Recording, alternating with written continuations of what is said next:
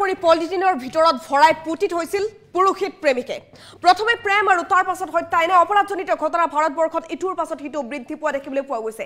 এইবাৰ এগৰাকী পুৰুষিতৰ এই কুকান্ত পোহৰলৈ আহিছে। পুৰুষিতগৰাকীৰ পত্নী আছে তেওঁৰ সন্তান আছে কিন্তু তাৰ পাছতো অবৈধ প্ৰেম কৰিছিল প্ৰেমিকা ৰাখিছিল কিন্তু প্ৰেমিকাই যেতিয়া বিয়াৰ বাবে প্ৰস্তাৱ দিছিল বিয়াৰ বাবে হেঁচা প্ৰয়োগ কৰিছিল আৰু তাৰ পাছতে হত্যা কৰিলে প্ৰেমিকাক মূৰত ঠেকেচি হত্যা কৰা হ'ল আৰু তাৰ পাছতে প্ৰেমিকাৰ মৃতদেহ ভৰাই থলে পলিথিনৰ ভিতৰত। আৰু এই ঘটনাটোৱে এতিয়া জোকাৰিছে দক্ষিণ অঞ্চল। দক্ষিণ ভাৰতত সংঘটিত হোৱা এই ঘটনাটোৱে চাঞ্চল্যৰ সৃষ্টি কৰিছে। এগৰাকী পুৰুষিতৰ কুকাণ্ড এইবাৰ পোহৰলৈ আহিছে। লৈ আহিছো আপডেট এই ঘটনা এতিয়া সমগ্ৰ দক্ষিণ ভাৰতত চাঞ্চল্যৰ সৃষ্টি কৰিছে। হত্যাৰ পিছত পুৰোহিতে প্ৰেমিকাৰ মৃতদেহ ভৰাই থৈছিল প্লাষ্টিকৰ মোনাত। আৰু এই ঘটনা পোহৰলৈ অহাৰ পাছতে এতিয়া ইনভেষ্টিগেশ্যন আৰম্ভ হৈছে। প্ৰেমিকাক অতি নৃশংসভাৱে হত্যা কৰিলে পুৰোহিত প্ৰেমিকে। পুৰোহিতগৰাকী বিবাহিত তেওঁৰ সন্তানো আছে কিন্তু তাৰ পাছতো অবৈধ প্ৰেম কৰিছিল। বিয়া কৰাবলৈ হেঁচা প্ৰয়োগ যেতিয়া কৰিছিল প্ৰেমিকে তাৰ পাছতে নৃশংসভাৱে প্ৰেমিকাক হত্যা কৰাৰ ঘটনা সংঘটিত হৈছে। সূৰ্য কৃষ্ণ নামৰ এজন পুৰুষিতে এই ঘটনা সংঘটিত কৰিছে মূৰ ঠেকেচি হত্যা কৰিছে। শিলেৰে মূৰত মৰিয়াই নৃশংসভাৱে হত্যা কৰিলে প্ৰেমিকাক কাৰণ প্ৰেমিকাই বিয়াৰ বাবে হেঁচা প্ৰয়োগ কৰিছিল প্ৰস্তাৱ দিছিল। হত্যাৰ পিছত প্লাষ্টিকৰ মোনাত ভৰাই পেলাই দিছিল মৃতদেহ।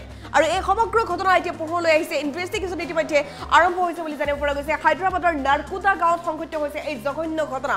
সমগ্ৰ হায়দৰাবাদত এই ঘটনাটোক লৈ এতিয়া চাঞ্চল্যৰ সৃষ্টি হৈছে। সেই পুৰুষিতজনৰ বিৰুদ্ধে ইতিমধ্যে বহু অভিযোগ উত্থাপিত হৈছে। বিবাহিত লম্পট প্ৰেমিকৰ আছে সন্তানো তেওঁ পূৰ্বতেও এনেধৰণে যুৱতীৰ সৈতে খেলা কৰিছিল বুলি উল্লেখ কৰিছে বিভিন্নজনে। হত্যাৰ পিছত পুৰোহিতে প্ৰেমিকাৰ মৃতদেহ প্লাষ্টিকৰ মোনাত ভৰাই পেলাই দিছিল। এই সমগ্ৰ ঘটনা যেতিয়া পোহৰলৈ আহিছিল যথেষ্ট চাঞ্চল্যৰ সৃষ্টি হয়। ইতিমধ্যে আৰক্ষীৰ ওচৰত এজাহাৰ দাখিল কৰা হৈছে। আৰক্ষীয়ে ইতিমধ্যে ইনভেষ্টিগেশ্যন আৰম্ভ কৰিছে। পুৰুষিত লম্পটৰ এই কুকাণ্ডত এতিয়া সমগ্ৰ নাৰকুটা গাঁওখনত চাঞ্চল্যৰ সৃষ্টি হৈছে প্ৰতিক্ৰিয়া অব্যাহত আছে। সমগ্ৰ হায়দৰাবাদত এই বিষয়টোক লৈ এতিয়া সৰব চৰ্চা অব্যাহত আছে। প্ৰথমে প্ৰেম আৰু তাৰ পাছতে এনেধৰণৰ অপৰাধজনিত ঘটনা কিমান দিনলৈ? অপৰাধজনিত ঘটনা দিনক দিনে ভাৰতবৰ্ষত বৃদ্ধি পাইছে। অপৰাধীৰ ৰম্যভূমিত পৰিণত হৈছে যেন সমগ্ৰ ভাৰতবৰ্ষ। প্ৰথমে প্ৰেম তাৰ পাছত ধোষা আৰু তাৰ পাছত এনেধৰণৰ ঘটনাবোৰ বৃদ্ধি পাবলৈ ধৰিছে। আৰু এইগৰাকী পুৰোহিতৰ পত্নী আছে পুৰোহিতগৰাকীৰ সন্তানো আছে তাৰ পাছতো অবৈধ প্ৰেম কৰিছিল।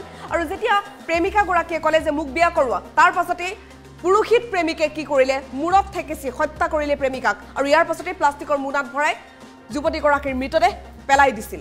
এই ঘটনাটো এতিয়া পোহৰলৈ আহিছে। হায়দৰাবাদৰ নাৰকুদা গাঁৱত সংঘটিত হৈছে। জঘন্য ঘটনা। এইগৰাকী পুৰোহিত লম্পট পুৰোহিত প্ৰেমিক দেখিবলৈ পাইছে তেওঁলোকৰ আলোকচিত্ৰ। আৰু এইগৰাকী আছিল তেওঁৰ প্ৰেমিকা। পত্নী আছিল সন্তানো আছিল। তাৰ পাছতো লাগে আৰু প্ৰেমিকা। আৰু প্ৰেম ঠিকেই কৰিলে কিন্তু তাৰ পাছত প্ৰেমৰ নাম এটা দিবলৈ যেতিয়া তেওঁৰ প্ৰেমিকাগৰাকীয়ে ক'লে সেই সময়ছোৱাত এই নৃশংস কাণ্ড সংঘটিত কৰিলে। পুৰুষিত প্ৰেমিকে। এতিয়া পুৰুষিত প্ৰেমিকক আৰক্ষীয়ে কৰায়ত্ব কৰিছে বুলি জানিব পৰা গৈছে। ইনভেষ্টিগেশ্যন অব্যাহত আছে।